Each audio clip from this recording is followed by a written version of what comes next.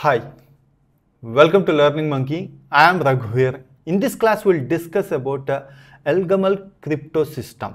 This is one of the asymmetric key cryptography system. In our previous classes, we already discussed one of the cryptography system, cryptography asymmetric system, which is RSA, and we have discussed some concepts of uh, exponential and logarithms and some basic concepts of group theory please watch those classes and come back here because we are going to use all those concepts here in this class. The link for the playlist is provided in the description below. Coming to today's class, so the exponential and logarithmic problems which we discussed here in our previous classes, we are going to use here, the entire concept is based on that. So what happens, let's refresh the concept. Suppose E1, r and p value is given. Here p means prime number.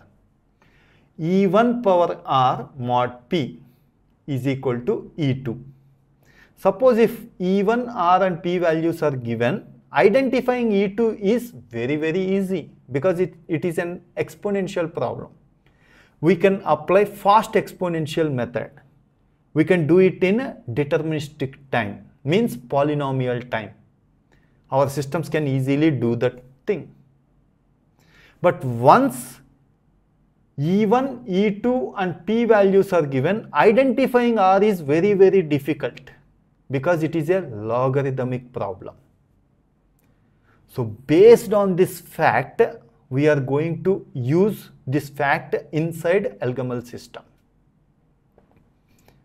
So these discussions made previously in our previous classes hoping that you already know why this is exponential problem and all those things. Now coming to this crypto system, first we need to understand in our asymmetric key cryptography, the receiver is going to generate the public keys and private keys and public keys are sent publicly to the sender and sender is going to use those keys and he is going to do encryption.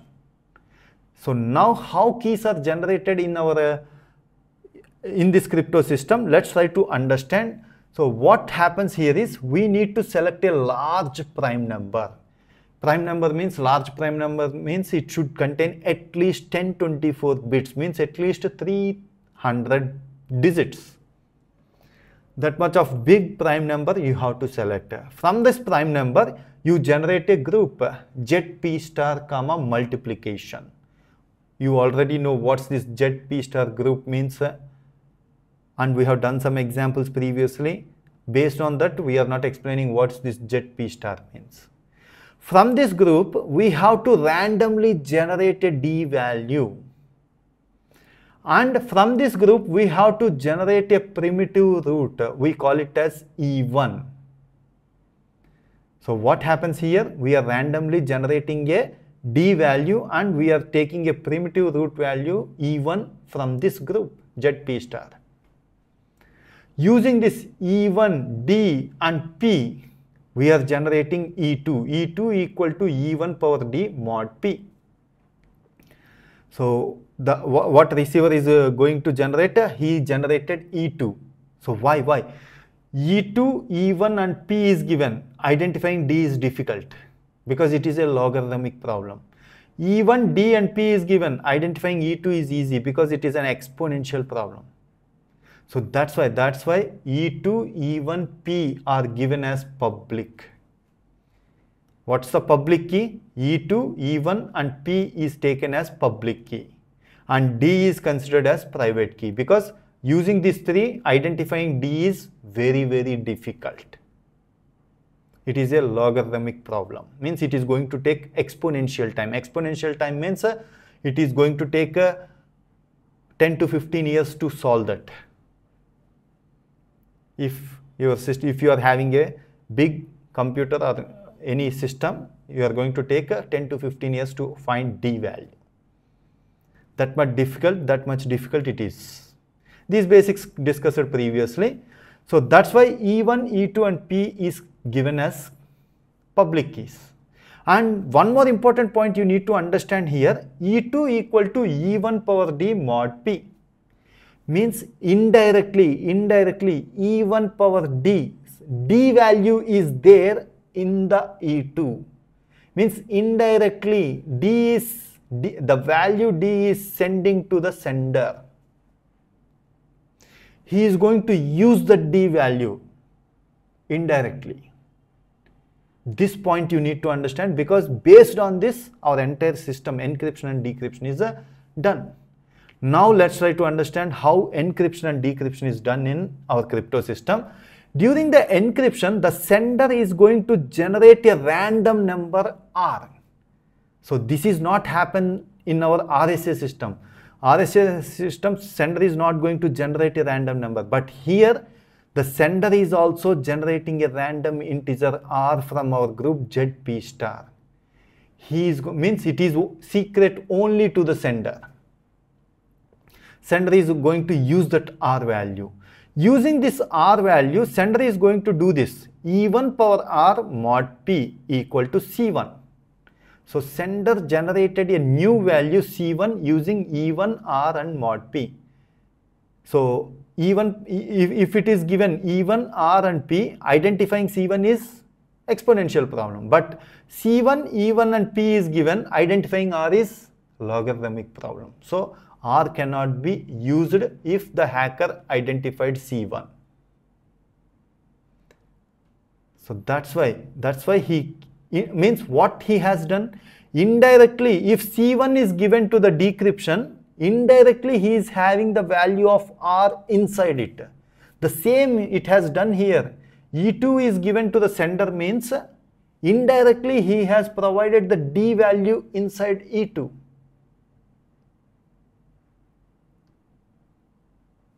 The same thing, sender is generating a random number R, indirectly he is providing that value to the receiver by generating C1. Now what the sender is going to do here is uh, he is going to generate C2 also. C2 is the actual masking happens here means uh, the actual encryption is going to be done here. What he is going to do E2 power R multiplied by here P means uh, plain text he is going to multiply plain text with e2 power r mod p. The actual masking means the actual encryption happened here. C2 is having the actual data. So, so sender has generated C1 and C2 and C1 and C2 values are sent to the receiver. Now once the receiver received the C1 and C2 value, he is going to do decryption. So from this C1 and C2 value, he has to generate the plain text P. How he is going to generate the plain text P? Let's try to understand. He is going to do this C2 multiplied by C1 power D whole inverse. C1 power D whole inverse mod P. He is going to generate the plain text P. So why? Why we are getting this C2 multiplied by C1 power D whole inverse? From this, why we are generating plain text P? This is the point we need to understand. Let's try to de uh, let's decode it. What's there inside C1? What he has done? Indirectly, he has kept E1 power R. So that's why decryption is going to use C1. C1 power D means from C1 we are having E1 power R. So that's why C1 power D means E1 power RD we generated because D is there with the receiver, he is going to use C1 power D means E1 power RD whole inverse. Similarly, C2 means what's there inside C2? E2 power R mod P multiplied by P. Here P means plain text. So inside C2 we are having E2 power R multiplied by plain text. But what happens inside E2? In the E2, indirectly he has sent D value, E1 power D. So that's why E2 power R means E1 power RD. See here, look at here. E1 power RD, E1 power RD whole inverse. From our basics of group theory and uh, these are inverse elements cancelled out. With mod P you are going to get 1 x x inverse mod p you are going to get one value because here inverse element here identity element in multiplication group is 1 and you remind with p p means plain text this is what happens here in Elgamal system. Let's try to understand deeper inside this. Indirectly, he has provided D to the sender. The sender indirectly he has provided R value to the receiver using C1. He has provided D value using E2. So that's why both are using RD as mask. That's why E2 power R means inside E2 we are having D E1 power dr, E1 power rd is used as mask. E1 power rd multiplied with P means plain text. That's why E1 power rd is our mask. Even though you know E2, you cannot identify D value. Even though you know C1, you cannot identify R value. But these two values are used. R value and D value is used in both in sender and receiver this is the concept of a Elgamal crypto system. Hope you understand how our plain text is done again coming back from the sender, how we are going to decrypt it and how they are going to encrypt it. These concept hope you understand. If you have any questions regarding the concept, please post your questions in the comment section below. Thanks for watching. If you haven't subscribed to our channel, please subscribe to our channel and press bell icon for the latest updates.